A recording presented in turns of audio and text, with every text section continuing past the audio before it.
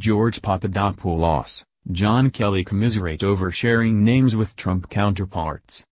As financial planner and CPA George Papadopoulos learned Monday, it's not a great day to be named George Papadopoulos. CPA Papadopoulos's tweet comes after former Trump foreign policy advisor Papadopoulos pleaded guilty on Monday to making false statements and material omissions to the FBI about the links between the Trump campaign and the Russian government. More, ex-Trump campaign advisor George Papadopoulos pleads guilty to lying to FBI about Russian contacts. But don't worry, CPA Papadopoulos. Washington Post columnist John Kelly, share of a name with White House Chief of Staff John Kelly, understands. More, Mueller files criminal charges against Trump aides Paul Manafort, Rick Gates, and George Papadopoulos. Paul Manafort has deep ties with Russia. A timeline of who, what, when.